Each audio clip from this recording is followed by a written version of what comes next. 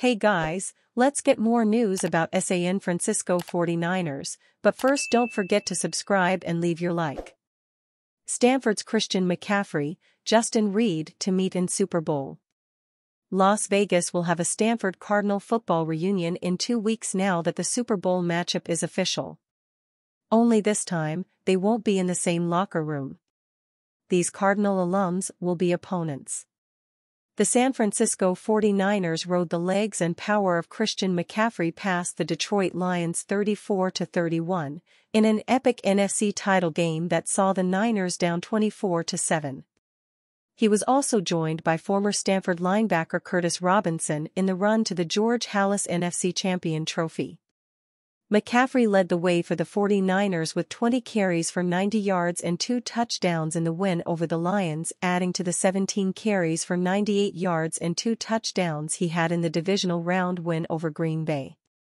But now, McCaffrey will face his former Stanford teammate Justin Reid, who's making his second straight trip to the big game. Reid played on a Kansas City Chiefs defense that bottled potential most valuable player winner Lamar Jackson to only 54 rushing yards and forced two takeaways in the 17-10 win over the Baltimore Ravens to win the AFC Championship. Reid collected three solo tackles and one sack on a delayed safety blitz call. The former Houston Texan has reached the Super Bowl in both of his first two seasons with the Chiefs. He claimed a Super Bowl ring last season in a 38-35 win over the Philadelphia Eagles in which he had seven tackles. McCaffrey isn't just making his first Super Bowl trip, but history will be on his side. Only one Stanford running back has won a Super Bowl ring, Scott Laidlaw, who won with the Dallas Cowboys in 1977. Reid, meanwhile, will look to join John Elway as past Cardinal players who won back-to-back titles. We're less than a week away from the April 16 opening of the college football spring transfer portal window, which will give players a two-week period from April 16 to 30th to enter their names into the portal. After a winter portal cycle that saw Oregon, Notre Dame and about 20 other Power 4 schools land turnkey starting quarterbacks, don't expect much high-level quarterback action during this window. Simply put, most of the Power 4 teams that were in search of a new starting quarterback filled that need during the winter window. Also, while there may end up being a surprise entry or a couple exceptions, the current expectation in the college football personnel world is that the majority of quarterbacks that enter the portal these next few weeks will be backup guys for their current teams. NFL analyst throws cold water on Brandon Aiyuk trade request denial. While San Francisco 49ers wide receiver Brandon Aiyuk hasn't requested a trade, he doesn't need to as Pro Football Talks Mike Florio wrote on Monday. This all came on the heels of a trade request rumor surfacing over the weekend before Aiyuk's agent, Ryan Williams, shut it down. Florio called the rumor strange but increasingly common kerfuffle in the modern NFL on social media.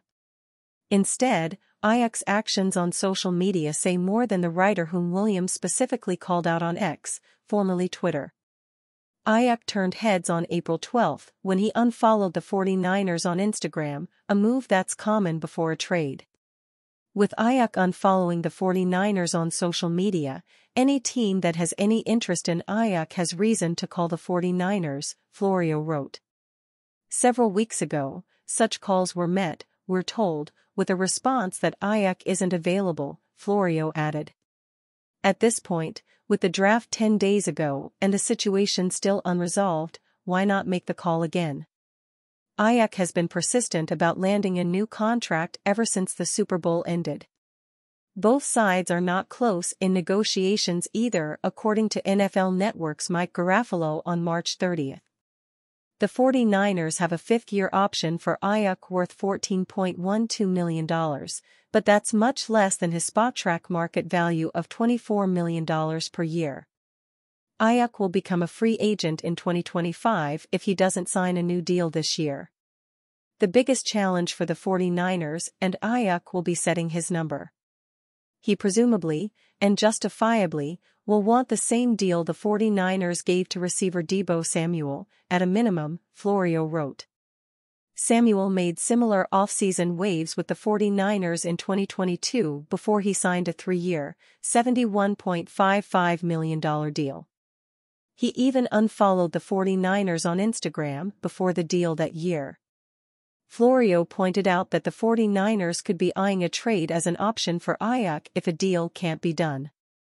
There's also reason to believe that, even though Aiyuk hasn't requested a trade, conversations might be happening to determine whether other teams are interested in making a deal, with the knowledge and approval of the 49ers, Florio wrote. That could be useful to the 49ers. It could give both sides useful information as to what his market might be. It makes sense for the 49ers to figure this out now pay Aiyuk or trade him to someone who will, and get 2024 draft pick compensation for him, Florio added. If the 49ers trade Aiyuk, it will take a significant draft capital as Florio sees it. The best case scenario is that they'd flip Aiyuk for a rookie who ends up being pretty good, too.